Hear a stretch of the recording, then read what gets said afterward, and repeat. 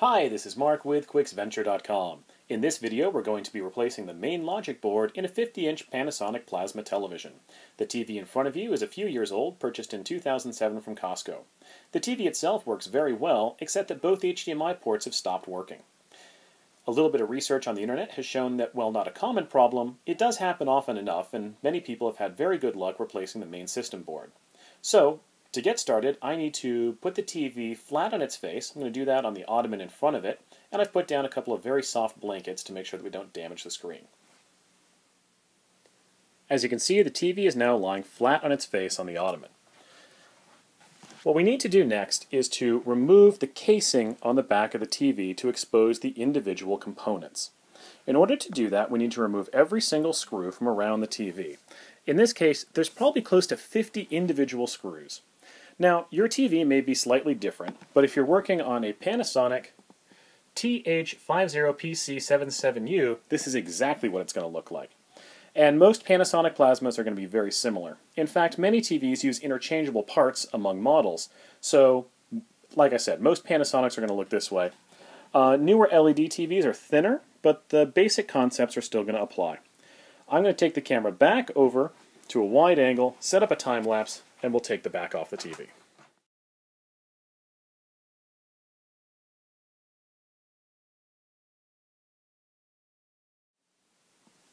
As you can see, the uh, metal cover on the back of the TV has been removed.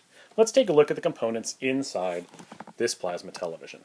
And keep in mind, plasma TVs, LCD TVs, they're going to have very similar components, but plasma TVs may have a few more because there's a few more electronics needed to make them work. The large brown component near the top, in this case, is the power supply. And those very large capacitors are holding a lot of electricity. And if you bridge a connection on them and they still have power, it can kill you. So, this is when we're going to talk about safety. Do not attempt this project if you're not comfortable working with electronics, and do not bridge connections on large capacitors.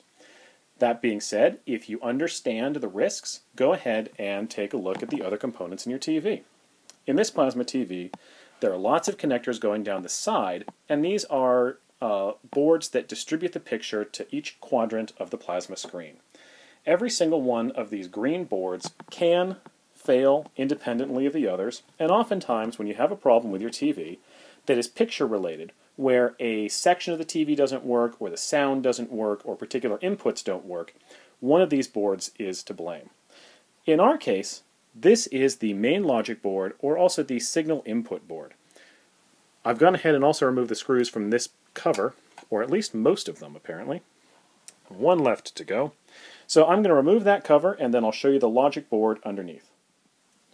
With the one last screw removed, I can pull off this cover to expose the entire logic board.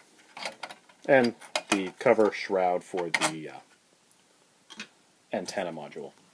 So this is the board that's causing all of our trouble. I couldn't see anything physically wrong with the board, but I know that uh, something in between the HDMI ports and the logic processor has failed. So what I've done is looked at the board very closely and found the model number. In this case, for this particular TV, the model number is TNPH0692. And for some reason, there are multiple versions of this board. It's called a suffix. Now, it's unclear to me if the suffix matters, but because certain retailers were offering to match the suffix, I went ahead and got the right one. If you look very closely, you can see some headers here with the letters AB, AC, AD, AE, AF, AG, and AH. And there's a resistor bridging the AF connection. So in this case, it's a TNPH0692 AF model. I went online and found a retailer selling a refurbished board, really just a recycled board out of an old TV. And I have ordered that exact model, and it arrived yesterday. So I'm going to remove all the screws around this board, and I'm going to take off each individual connector, and then I'm going to replace the old logic board in my TV with the new, at least to me, board that arrived from the retailer. Then we're going to put the whole TV back together again and hope it works. So I'm going to set up another quick time lapse while we replace the board itself. One more quick piece. This is the new board, and we should make sure that it does match exactly to the old board. So if you look at the two, they are an exact a copy of each other. In fact, there may be subtle differences, but as long as the model number and the suffix match, and the basic layout is the same, and each connector is in exactly the same place, then you shouldn't have any trouble.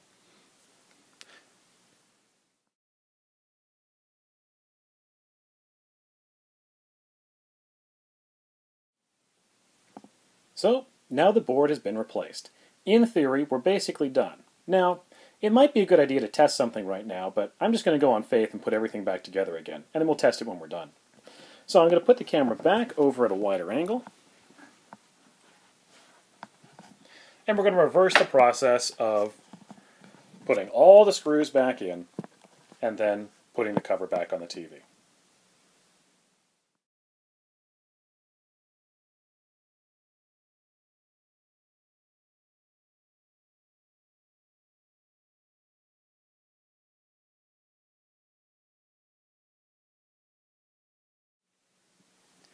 And now the cover's back on, and all of the individual screws are back in place. Except for one that I stripped uh, early on and have thrown away, but you know what? It happens. And I apologize for the camera falling. I've actually done that video twice now, and both times the video has fallen in the middle of the time lapse, so you couldn't see the whole thing. But it's really not that exciting anyway. It's just me putting screws in the back of the TV.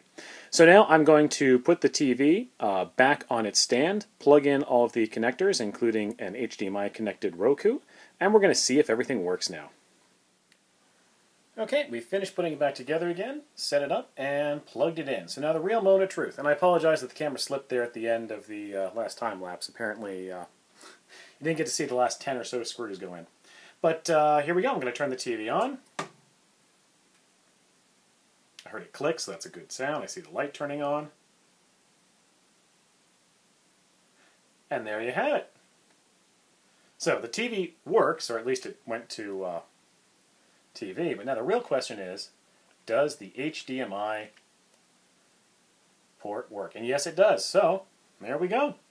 That is how to repair a plasma or LCD TV. The process will be the same on almost every uh, flat panel device.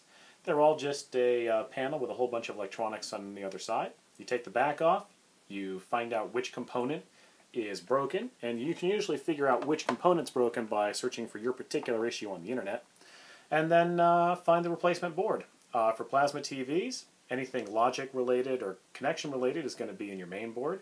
If the screen itself is broken, then you're probably out of luck.